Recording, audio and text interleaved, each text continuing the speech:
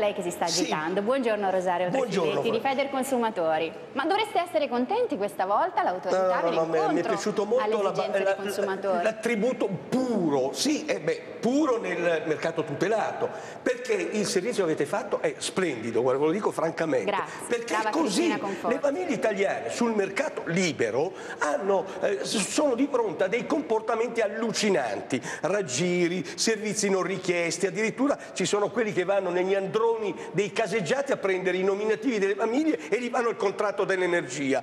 C'è poca chiarezza, poca trasparenza, ti dicono una cosa all'inizio e poi vengono da noi a lamentarsi perché effettivamente poi il, le tariffe eh, vanno in maniera incredibile ad aumentare nel giro di qualche mese e allora ci ritroviamo con un mercato che dicevo poco chiaro e poco trasparente, raggiri e inoltre un bel 20% in più. Ma scusate, ma uno Stato come si deve, un governo come si deve, ti dice ai cittadini andate in un mercato poco chiaro, poco trasparente con un aumento delle bollette del 20%? Ma dove siamo? Ma infatti il eh. governo questa volta ha ascoltato la voce dell'autority e ha deciso di far slittare di tre anni l'obbligo per le piccole e medie imprese e per le famiglie di passare appunto al mercato libero nel settore dell'energia elettrica e del gas. E dobbiamo anche stare attenti ad una cosa, spesso e volentieri noi aderiamo a dei contratti che ci vengono proposti magari con telefonate a martello, di cui parleremo fra un attimo con Rosario Trefiletti, senza accorgerti che ci stiamo veramente mettendo nelle mani di un nuovo gestore. A volte basta un assenso, non c'è neanche bisogno di una ricevuta cartacea da rinviare a conferma di aver sottoscritto o meno un contratto.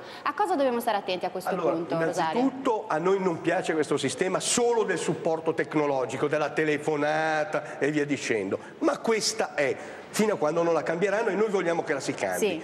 Però c'è da aggiungere che bisogna che queste telefonate di supporto tecnologico dove tu dici sì o no devono essere accompagnate comunque da una dichiarazione cartacea che tu hai voluto quel contratto con quelle caratteristiche. La carta non va più di moda, Siamo, No, no, però, in questo eh. caso, no, no, eh, sono d'accordo nel risparmiare la carta, ci mancherebbe altro. No, no, no, in questo caso io non mi fido di chi ti dice, come diceva giustamente Perego prima, che ti danno un'offerta a, a, a 6 centesimi per quanto riguarda il kilowattora e poi invece te lo ritrovi a 30-35 con delle bollette pazzesche. È un mercato dove c'è il raggiro quasi istituzionale. Eh, Stafolani, l'abbiamo... Non c'è bisogno mai di decidere immediatamente, fatevi mandare le carte, leggete le proposte, perché alcune proposte in base ai propri profili di consumo possono essere convenienti, ma bisogna essere consapevoli delle dire, proposte. Aspettiamo le liberalizzazioni davvero che entreranno in vigore fra tre anni a questo sì, punto. Sì, però io ho una richiesta da fare all'autority.